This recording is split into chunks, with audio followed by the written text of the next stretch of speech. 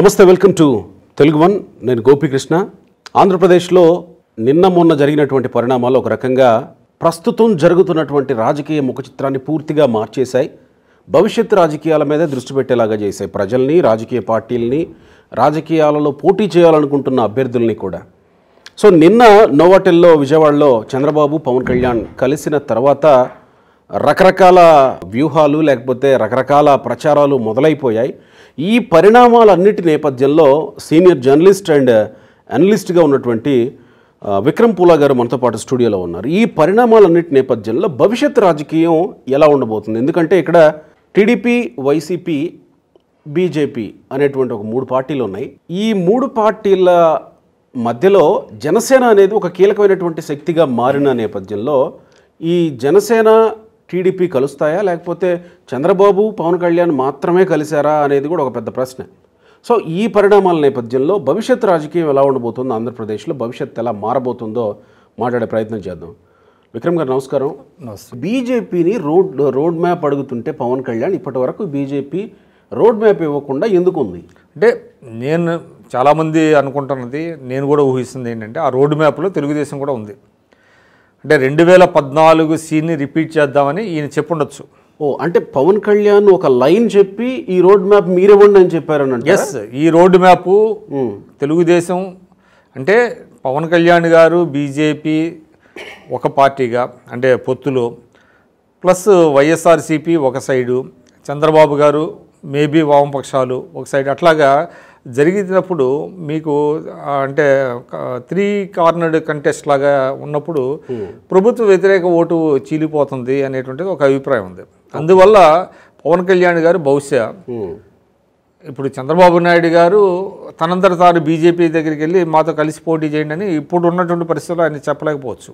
ఉమ్, కానీ పవన్ కళ్యాణ్ గారు వాళ్ళ మీద ఒత్తిడి తీసుకొచ్చి వాళ్ళని కూడా టీడీపీ తను ఏదైతే రెండు వేల పద్నాలుగులో పోటీ చేశారో ఆ విధంగా పోటీ చేసేటువంటి ఇది ఆయన ఒక ప్రతిపాదన చేసి ఉండొచ్చు ఇలాంటి ప్రతిపాదన ఓకే. ప్రతిపాదన చేసి ఉండొచ్చు. అందుకనే ఆయన రోడ్డు మ్యాప్ నేను వెయిట్ చేస్తున్నాను అని చెప్పారు. మరి బీజేపీ వాళ్ళ ఆలోచనలు ఏ విధంగా ఉన్నాయి? బీజేపీలో కూడా రెండు రకాలుగా అంటే కేంద్ర నాయకత్వం ఒకలాగా ఆలోచిస్తుంటే రాష్ట్ర నాయకత్వం ఒకలాగా ఆలోచిస్తున్నటువంటి పరిస్థితి ఉంది. ఇప్పటికీ కూడా రాష్ట్ర బీజేపీలో రెండు వర్గాలు ఉన్నాయి. ఒకటేమో తెలుగుదేశంతో కలిసి వెళ్ళాలనేటువంటి వర్గం ఒకళ్ళేమో తెలుగుదేశానికి యాంటీ వర్గం కూడా రెండు ఉన్నాయి. కాబట్టి ఇటువంటి నేపథ్యంలో అసలు బీజేపీ ఏం చేయబోతున్నది? బీజేపీ అంటే నిర్ణయం తీసుకునేది రాష్ట్ర నాయకత్వం కాదు కదా కేంద్ర నాయకత్వమే కదా నిర్ణయం తీసుకునేది. అలాంటప్పుడు వాళ్ళే ఇది మా రోడ్ మ్యాప్ రోడ్ మ్యాప్ అని ఒకటి నిర్దేశించి పవన్ కళ్యాణ్కి ఇవ్వచ్చు కదా. ఒకవేళ పవన్ కళ్యాణ్ ఇది అడిగినప్పటికీ ఖచ్చితంగా ఖచ్చితంగా వాళ్ళు ఇంత డిలే చేస్తున్నారంటే వాళ్ళ ఆలోచన వేరుగా ఉండి ఉండొచ్చు ఉమ్, కాబట్టి ఇప్పుడు ball is in Pawan Kalyan's court. ఆయన ఒక నిర్ణయం తీసుకోవాలి. ఇది ఒక మంచి ఆపర్చునిటీ కూడా. ఒక రకంగా చెప్పాలంటే బీజేపీకి తెగతెంపులు చేసుకోవడానికి ఆయనకు వచ్చినటువంటి మంచి ఆపర్చునిటీ ఎందుకంటే వాళ్ళ బీజేపీతో కలిసి వెళ్ళటం వలన ఆయనకు అదనంగా వచ్చేటువంటి లాభం ఏం లేదు. ఎందుకంటే బీజేపీ పట్ల రాష్ట్ర ప్రజలకి పెద్దగా సానుభూతి లేదు. పెద్దగా కాదు. అసలు వాళ్ళు ఏం చేశారు రాష్ట్రానికి? అంటే ఇక్కడ బీజేపీ రోడ్ మ్యాప్ ఇవ్వకపోవడానికి కారణాలు ఆల్రెడీ బీజేపీ అడిగిన ప్రతిదానికి లేకపోతే అడగకపోయినా కూడా రాష్ట్రంలో ఉండేటువంటి టీడీపీ లేకపోతే వైసీపీ ప్రధ ప్రధానంగా వైసీపీలో ఉన్నటువంటి ఎంపీలందరూ బీజేపీకి మద్దతు ఇస్తూనే వస్తున్నారు ప్రతి అంశంలో సో ఒకవేళ రోడ్ మ్యాప్ ఇవ్వడానికి అక్కడ ఏమన్నా అధికారంలో ఉన్నటువంటి ఎక్స్టర్నల్ ఫోర్సెస్ కూడా పనిచేసి ఉండొచ్చు హ్మ్. మనం దాన్ని మనం రూల్ అవుట్ చేయలేము ఓకే మరి పవన్ కళ్యాణ్ లాంటి వ్యక్తి రోడ్ మ్యాప్ అడిగినప్పుడు.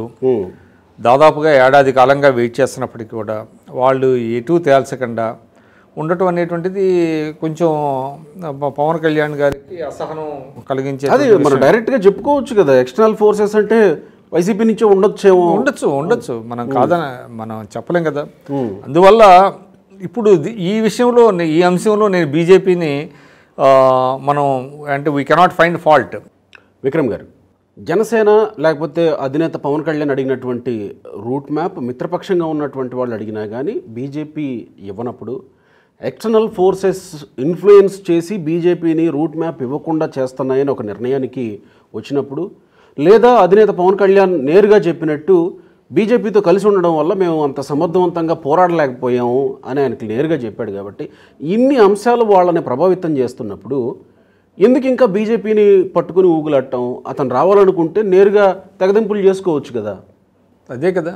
ఇవాళ అసలు బీజేపీతో ఆయన కలిసి ప్రయాణించాలని నిర్ణయం తీసుకోవటమే ఒక ఆశ్చర్యకరమైంది. ఎందుకంటే మనం అనుకున్నాం రాష్ట్ర ప్రయోజనాల కోసం బీజేపీ ఏం చేసింది అనేటువంటి ఒక ప్రశ్న అయితే వస్తుంది. ఖచ్చితంగా. కాబట్టి అసలు దేనికోసం ఆయన బీజేపీతో కలిసి వెళ్ళాలనుకున్నారు? కాబట్టి ఇవాళ అంటే బీజేపీ ఒక నేషనల్ పార్టీ అండి. నేషనల్ పార్టీకి కొన్ని విధానాలు వాళ్ళకుండే ఎత్తుగడలు వ్యూహాలు ఉన్నాయి ఆ జాతీయ స్థాయిలో ఆ పార్టీ ఏ విధంగా వివిధ రాష్ట్రాల్లో ఫంక్షనింగ్ చేస్తుంది అనేటువంటిది మనం చూస్తున్నాం. అంటే ముఖ్యంగా వాళ్ళ ఎల్ఐడి పార్టీస్లో మనం మహారాష్ట్రలో ఏం జరిగిందో మనం చూసాము. ఇవన్నీ కూడా జరుగుతున్నటువంటి నేపథ్యంలో. సో ఇక్కడ పవన్ కళ్యాణ్ గారి చేతులు కాళ్ళు కట్టేసినట్టుగా బీజేపీ వ్యవహరించడంలో పెద్ద ఆశ్చర్యం ఏం లేదు. కాబట్టి క్లారిటీ ఎవరు తెచ్చుకోవాలి?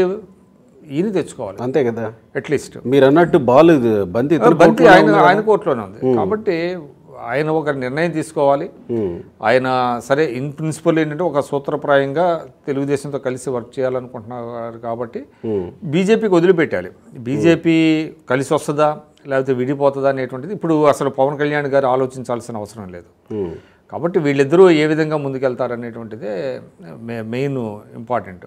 కాబట్టి పవన్ కళ్యాణ్ గారు కానివ్వండి చంద్రబాబు నాయుడు గారు కానివ్వండి ఈ ఏడాది ఏడాదిన్నర కాలంలో ప్రజల్లోకి వెళ్ళగలిగి వీళ్ళు పొత్తు ఎందుకు పెట్టుకున్నారు పొత్తు పెట్టుకోవాల్సిన అవసరం ఏముంది అనే దాని మీద కొంత అంటే ఎన్నికల పొత్తు కాదు ఇది ప్రభుత్వం మీద పోరాటానికే మా అనేది వేదిక. అంటే కమ్యూనిస్టులు కూడా వచ్చి కలిసే. లేకుండా కమ్యూనిస్టులు కూడా కలుపుకుపోయే ఇది ఏదో ఒక జరుగుతున్నట్టుంది ఈరోజు కమ్యూనిస్టుల నుంచి కూడా కొంత ప్రకటన వచ్చినట్టు వార్తలు అది వస్తాయి. ఊహించింది. ఎప్పుడైతే మీకు బీజేపీతో ఆయన బయటకు వచ్చేస్తే ఓకే. ఇవాళ కమ్యూనిస్టులు తమంతట తాముగా ఒంటరిగా పో పోరాడేటువంటి శక్తి వాళ్ళకు కూడా లేదు. కాబట్టి కలిసి వచ్చేటువంటి శక్తులను కలుపుకోవటం అనేటువంటిది వాళ్ళకు కూడా ఉన్నది. కాబట్టి వాళ్ళ జనసేన టీడీపీ వామపక్షాలు కనుక కలిస్తే అది ఒక ఫార్మిడబుల్ ఫోర్స్ అయ్యేటువంటి అవకాశం ఉంటుంది. కానీ ఇక్కడ మెయిన్ ప్రధానంగా ఉన్నటువంటి సమస్య ఏంటంటే సరే ఎలక్షన్లో ఎవరు ఇష్టం వచ్చినట్టు వాళ్ళు పోటీ చేస్తారు. ప్రస్తుతానికైతే ప్రభుత్వం మీద పోరాటానికే మేము కలుస్తున్నామని చంద్రబాబు గారు నిన్న మాట్లాడారు. కానీ ఇక్కడ వచ్చిన సమస్య ఏంటంటే రెండు వేల పద్దెనిమిదిలో మానసికంగా విడిపోయినటువంటి జనసేన టీడీపీ క్యాడర్ మళ్ళీ మానసికంగా కలవడానికి సిద్ధపడతారా? ఇదో పెద్ద ప్రశ్న. అది అది ఉన్నదండి. అంటే జనసేన కేడర్లో రెండు రకాల ఆలోచన ధోరణులు కనపడుతూ ఉంటాయి. ఒకటేమో పవన్ కళ్యాణ్ గారు సీఎం కావాలి. అవును. కొత్తగా వచ్చేవాళ్ళు మేము కూడా ఎమ్మెల్యేలు అవ్వాలి ఎంపీలు అవ్వాలి రకరకాల పదవులు రావాలని ఆలోచిస్తున్న వాళ్ళు కొంతమంది ఉన్నారు. కొంతమంది ఏంటంటే రెండు వేల ఇరవై నాలుగు కాదు నెక్స్ట్ మళ్ళీ ఇరవై తొమ్మిదికి పవన్ కళ్యాణ్ గారు అప్పుడు చూసుకోవచ్చు. ఇప్పుడైతే ముందు జగన్మోహన్ రెడ్డి గారిని ఓడించడం అనేటువంటిది చాలా ఇంపార్టెంట్ అని ఆలోచిస్తున్న వాళ్ళు కూడా ఉన్నారు. ఉమ్, అయితే ఇక్కడ మనం గమనించాల్సింది ఏంటంటే ఈ మూడు మూడున్నర సంవత్సరాల్లో జనసేన అనుకున్న స్థాయిలో ఏమీ పెద్దగా ఎదగల. అంటే అంతకుముందు అంటే రెండు వేల పంతొమ్మిది ఎన్నికల కంటే కూడా కొంత మెరుగయ్యారు వాళ్ళు. స్థానిక సంస్థల ఎన్నికల్లో కానివ్వండి అదేవిధంగా చాలామంది ఆ పార్టీలో పనిచేయడానికి సిద్ధపడటం ఇదంతా ఉన్నది కానీ బట్ వాళ్ళ రియల్ స్ట్రెంగ్త్ ఏంటి అనేటువంటిది ఇంకా తెలియదు మనకి వాళ్ళు అనుకోవడం ఆరు శాతం ఓట్లేమో అప్పుడు వచ్చినాయి. పంతొమ్మిది ఎలక్షన్స్లో విత్ ఇది వామపక్షాలతో కలిపి. తర్వాత స్థానిక సంస్థల ఎన్నికల్లో ఏమో వాళ్ళు ఇరవై రెండు శాతం వరకు మా బలం పెరిగిందని వాళ్ళు క్లెయిమ్ చేసుకుంటున్నారు. కానీ చూసినట్లయితే మరి అంత బలం ఉందా? కొన్ని జిల్లాల్లో పెద్దగా వాళ్ళ ఇది లేదనమాట. కొన్ని జిల్లాల వరకే జనసేన బలం కనపడుతుంది. ఈ నేపథ్యంలో పవన్ కళ్యాణ్ గారు ఖచ్చితంగా ఆయన త్యాగం చేయాలి. ఓ. త్యాగం చేయకపోతే ఆయన తెలుగుదేశంతో కలిసి వెళ్ళినా కూడా ఉపయోగం లేదు. త్యాగం చేయడానికి జనసేన క్యాడర్ ఒప్పుకోవడానికి కన్విన్స్ అవ్వడానికి సిద్ధంగా ఉంటారా? ఉండాలి. ఉండకపోతే కష్టం కదా. ఉన్నవాళ్ళు ఉంటారు ఇక. ఇప్పుడు నాయకుడు ఒక నిర్ణయం తీసుకున్న తర్వాత అందుకే నేను అంటున్నాను. ఓకే. ఈ- దీని మీద రెండు పార్టీలో చర్చ జరగాలి. జనసేనలో కూడా పార్టీ క్యాడర్ని కన్విన్స్ చేసుకోవాలి. త్యాగాలకి సిద్ధపడాలి. అదేవిధంగా తెలుగుదేశం. ఎందుకు ఎందుకు చెప్తున్నా అంటే ఈ త్యాగం అనే మాట ఎందుకు మనం వాడాల్సి వస్తుందంటే మీరు వైఎస్ఆర్సీపీని ఓడించడం అనేటువంటిది ఒక లక్ష్యంగా పెట్టుకున్నారు. నువ్వు సీ మీరు సీఎం అవడం అనేటువంటిది కాదు ఇక్కడ లక్ష్యం. వైఎస్ఆర్సీపీని ముక్త ఆంధ్రప్రదేశ్ అనే మాట వాడారు కాబట్టి ఆ నేపథ్యంలో మీరు త్యాగాలు చేయాల్సినటువంటి అవసరం ఉంటుంది. అంటే పెద్ద పార్టీ అనేటువంటి తెలుగుదేశానికి ఎక్కువ సీట్లు ఇచ్చి వాళ్ళు ఎన్ని సీట్లు ఇవ్వగలిగితే అన్ని సీట్లు పోటీ చేసేటువంటి పరిస్థితే తప్ప ఆ, వీళ్ళు టర్మ్స్ని డిక్టేట్ చేసేటువంటి పరిస్థితి జనసేనకు లేదు ఇప్పుడు. మాకు వంద సీట్లు కావాలంటే వంద సీట్లు ఇచ్చే పరిస్థితి లేదు. ఇవాళ ఉన్న నూట డెబ్బై ఐదు స్థానాల్లో డెబ్బై ఐదు స్థానాలు ఇవ్వండి అని పవన్ కళ్యాణ్ గారు అడిగేటువంటి పరిస్థితి లేదు. కాబట్టి తెలుగుదేశం ఎన్ని ఇవ్వగలుగుతుందో అన్ని స్థానాల్లో పోటీ చేసేటువంటి పరిస్థితే ఉంటుంది. అందువల్ల అటువంటి త్యాగాలకు సిద్ధపడాల్సినటువంటి బాధ్యత పవన్ కళ్యాణ్ గారి మీద ఎక్కువ ఉంది. అదేవిధంగా చంద్రబాబు గారి మీద కూడా ఉన్నది. అంటే వాళ్ళు వాళ్ళ లక్ష్యం కూడా వైఎస్ఆర్సీపీని ఓడించడం కాబట్టి వాళ్ళు కూడా ఎక్కడో ఒకటి కొంత కాంప్రమైజ్ కాక తప్పదు. కాబట్టి ఇదంతా ఏంటంటే ఆ కాంప్రమైజ్ ఇంక పాలిటిక్స్ అనేటువంటిది జరుగుతుంది కొంత. ఇటు సైడ్ నుంచి ఎక్కువ జరగచ్చు అటు సైడ్ నుంచి కొంత జరగచ్చు. నేను కూడా ఏంటంటే చంద్రబాబు నాయుడు గారు కూడా వాళ్ళ కేటర్ని కన్విన్స్ చేసుకునే పరిస్థితి ఉండాలి. లే అక్కడ కూడా ఒక అభిప్రాయం ఉంది.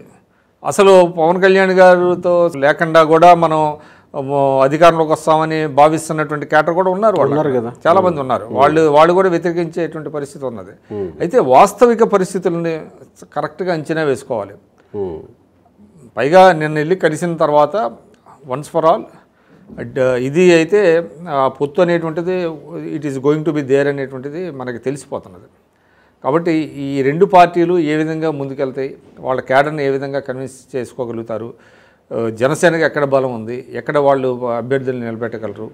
అదేవిధంగా లోక్సభకి ఎన్ని స్థానాల్లో ఆయన పోటీ చేస్తాడు? ఇవన్నీ కూడా ఇది టూ ఎర్లీ అయినప్పటికీ కూడా బట్ ఇప్పుడు రాజకీయాల్లో వచ్చి పనిచేసే వాళ్ళు ఎవరు కూడా దీనికోసం చారిటీ కోసం చేయరండి. అవును కదా. ఆ, విధంగా చేసేవాళ్ళు ఏంటంటే రామకృష్ణ మఠంలోనూ లేకపోతే ఇంకా వేరే చోట కేసీఆర్ అన్నట్టు. అక్కడ చేస్తారు తప్ప రాజకీయ పార్టీల్లో ఏంటంటే పవర్ షేరింగ్ ఉమ్. ఇప్పుడు రాజకీయ పార్టీలో ప చేసి పనిచేసే వాళ్ళు ఏంటంటే అధికారంలో మనం భాగస్వాములు అవుతాము. మనకు ఒక హోదా వస్తుంది. సమాజంలో మనకు ఒక గుర్తింపు వస్తుంది అనుకొని రాజకీయాల్లోకి వచ్చేవాళ్ళు ఉంటారు. వాళ్ళకి ఏంటంటే ఇటువంటి పరిణామాలు పొత్తులు వల్ల ఏమవుతుందంటే వాళ్ళ అవకాశాలు దెబ్బతింటాయి. ఇరు పార్టీల్లో కూడా ఏ పార్టీలో కూడా. కాబట్టి వాళ్ళ నుంచి కొంచెం రెసిస్టెన్స్ వస్తుంది. కొంత తిరుగుబాటు కూడా రావచ్చు. ఎంతో కొంత. కానీ వాళ్ళు ఏ పార్టీకి వెళ్తారు కాదని? ఇప్పుడు వైఎస్ఆర్సీపీ ఆల్రెడీ హౌస్ఫుల్ అది. ఉన్న నూట డెబ్బై ఐదు స్థానాల్లో వాళ్ళే మార్చుకుంటారు వాళ్ళ క్యాడర్ మార్చుకుంటారు. కాబట్టి ఆప్షన్స్ లేవు వాళ్ళకి. వేరే ఆప్షన్స్ అంటే జనసేన ఇప్పుడున్న సినారియోలో ఒకవేళ ఇదే పొత్తు ఖరారు అయితే గనక వైఎస్ఆర్సీపీని ఆంధ్రప్రదేశ్లో ఓడించడం సాధ్యం అవుతుందా ఈ ఈ క్యాలిక్యులేషన్ ఫార్మిడబుల్ ఫోర్స్ అయితే అవుతుందండి. ఖచ్చితంగా ఎందుకంటే యాంటీ ఇన్కంబెన్సీ ఉంది ఆ ప్రభుత్వం మీద వ్యతిరేకత వచ్చింది. అనేక వర్గాలు రెండు వేల పంతొమ్మిదిలో వాళ్ళకి సపోర్ట్ చేసినటువంటి వర్గాలు ఉద్యోగస్తులు కావచ్చు చాలామంది అనేక వర్గాలు ఇవాళ రోడ్డు మీదకి వస్తున్నాయి కదా. ఓకే. వాళ్ళ హక్కుల కోసం పోరాడేటువంటి పరిస్థితి ఉన్నది. కొంత వాళ్ళు కూడా ఏమవుతుంది? ప్రజలకి అంటే పూర్తి స్థాయిలో స్వేచ్ఛ ఇవ్వకపోవటం. ఇవన్నీ జరుగుతున్నాయి కొన్ని. అంటే సామాజిక వర్గాలుని వాళ్ళు కొన్ని దృష్టిలో పెట్టుకున్నారు కానీ వాళ్ళల్లో కూడా చాలామంది కొంత ఈ ప్రభుత్వం మీద కొంత వ్యతిరేకత ఆ వర్గాల్లో పెరిగింది అనేటువంటిది మనకు వినపడుతుంది. అంటే మన సర్వేలు కానివ్వండి ఈ దీని కానివ్వండి ఇవన్నీ చూసినప్పుడు. కాబట్టి మీకు రాజకీయాల్లో one plus one can be more than two అవుతుంది కదా. కాబట్టి పొత్తులు అనేటువంటిది ఇప్పుడు వాళ్ళు ఏంటి వైఎస్ఆర్సీపీకి ఇంకోటి ఏంటంటే వాళ్ళు ఎవరితో కూడా పొత్తు పెట్టుకోరు. అవును. బీజేపీతో పోస్ట్ ఎలక్షన్స్ మద్దతు ఇస్తారు కానీ ఎలక్షన్స్లో వేరే వాళ్ళతో కలిసి వచ్చేవాళ్ళు ఎవరు లేరు. కానీ ఇతర పార్టీలన్నీ కలిసినాయి అనుకోండి ఖచ్చితంగా మీకు అది ఒక నిర్ణయాత్మకమైనటువంటి ఒక ఇది వస్తుంది కదా. సో ఈ పరిణామాలు అంటే వైజాగ్లో జరిగిన ఇన్సిడెంట్ తర్వాత జరిగినటువంటి పరిణామం ఇది. ఇప్పుడు చంద్రబాబు పవన్ కళ్యాణ్ కలవడం చంద్రబాబు పరామర్శించడం కానీ ఇవన్నీ.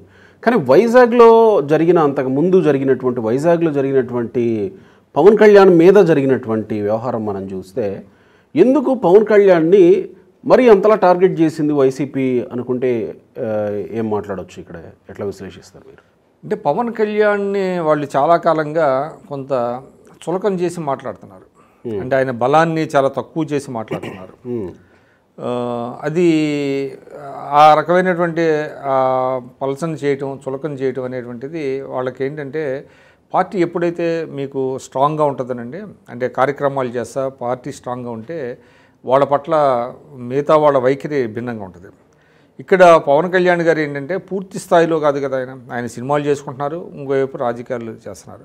ఎప్పుడైతే ఆయన సమయాన్ని అటు అటు ఇటు డివైడ్ చేసుకుంటున్నారో పార్టీని ఆ, ఇంకా పార్టీ కార్యక్రమాలు కానివ్వండి ఇవన్నీ కూడా చేయలేదు. వాళ్ళకి ఏంటంటే అది కొంత చులకన భావం పార్ట్ టైం పొలిటీషియన్ అని చెప్పి లేకపోతే ప్యాకేజీ స్టార్ అని ఇట్లాగా చులకన చేస్తూ వచ్చారు.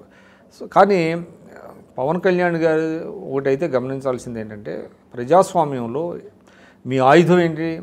తిట్టు కాదు హాకీ స్టిక్ కాదు.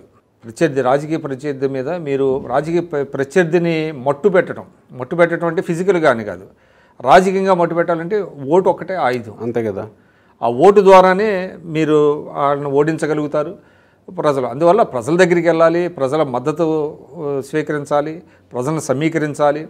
ఆ విధంగా ఒక ప్రజాస్వామ్య ప్రక్రియ ద్వారానే మనం ప్రభుత్వాలను మార్చగలం తప్ప మీకు చ- పంటికి పన్ను కంటికి కన్ను ఈ థీరీలో మధ్యయుగాల నాటి థీరీ వల్ల ఉపయోగం లేదు. అంటే మన దేశంలో మనం చూసినట్లయితే అంటే అనేక పొలిటికల్ టర్మాయిల్స్ వచ్చినాయి.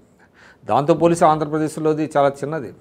అంటే ఒకప్పుడు పంజాబ్లో ఉగ్రవాదం జమ్మూ కాశ్మీర్లో ఉగ్రవాదం ఈశాన్య రాష్ట్రాల్లో తీవ్రవాదం ఈవెన్ ఢిల్లీలో కూడా మీకు బాంబు బ్లాస్టులు ఇలాంటివన్నీ జరిగినాయి. ఆ సమయంలో జరిగినటువంటిది ఏంటి? ప్రజాస్వామ్య ప్రక్రియ ద్వారానే ఆ సమస్యలన్నింటికి పరిష్కారం వచ్చింది.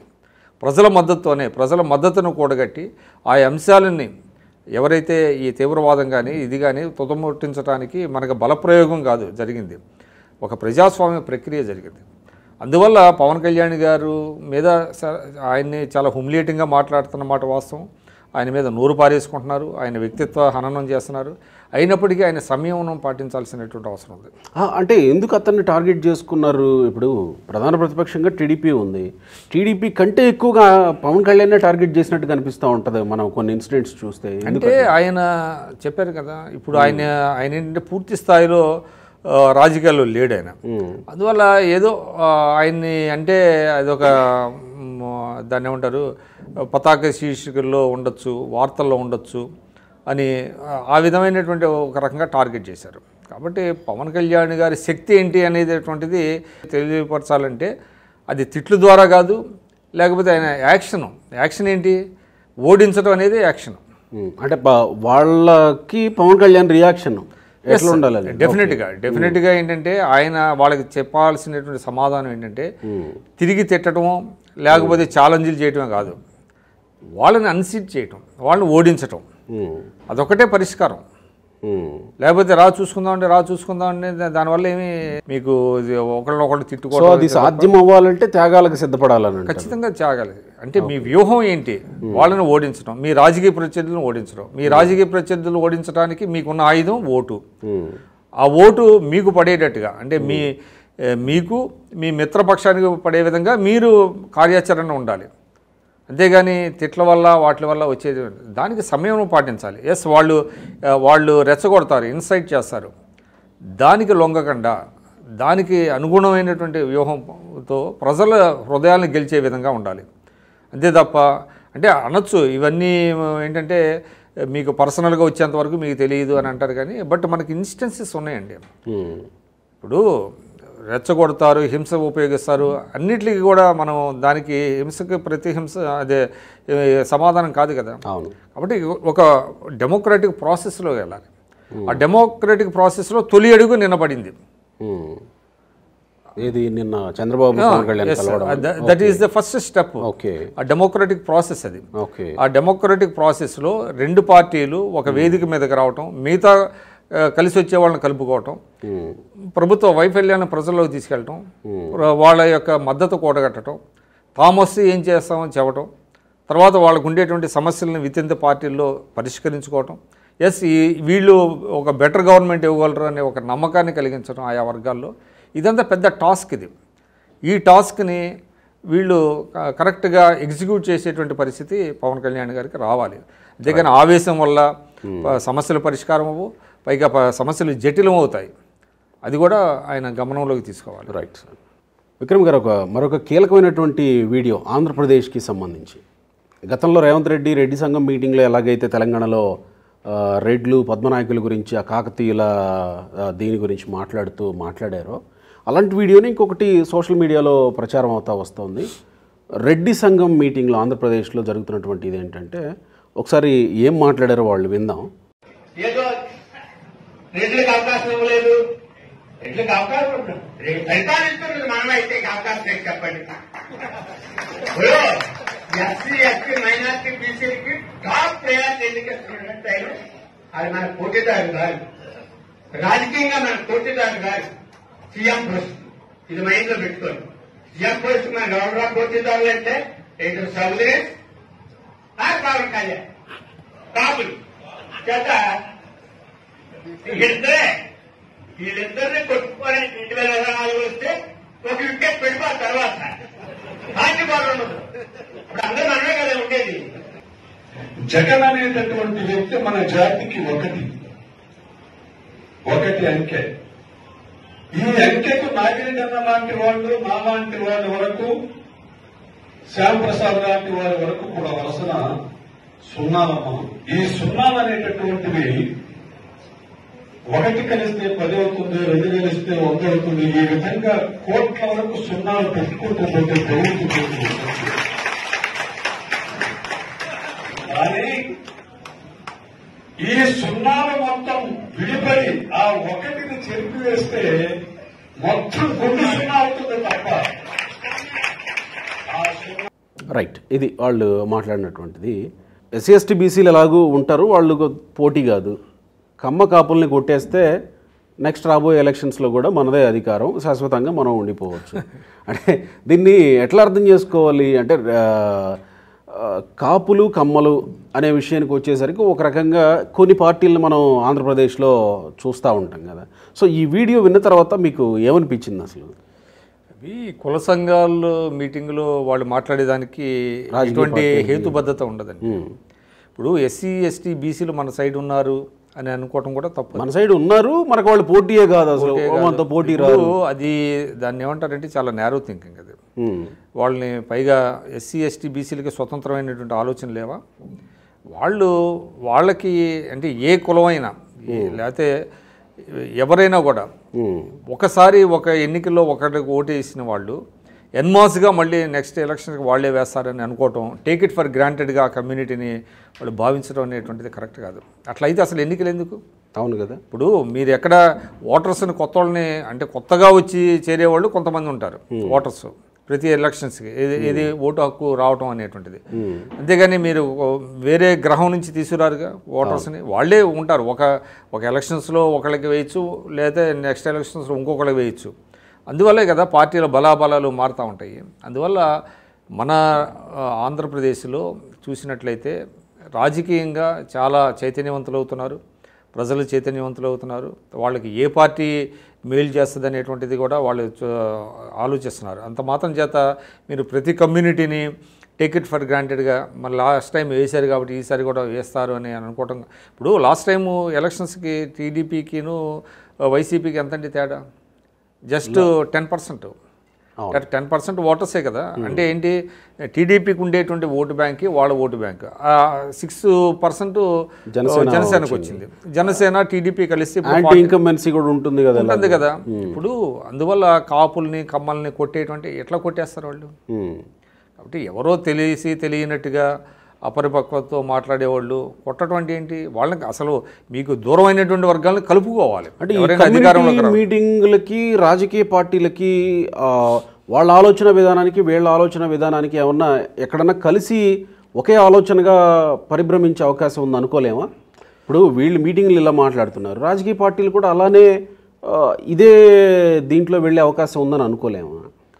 అంటే కొంత కుల సంఘాల్లో ఉండేదేమో చాలా నేరోగా ఆలోచించేటువంటి పరిస్థితి.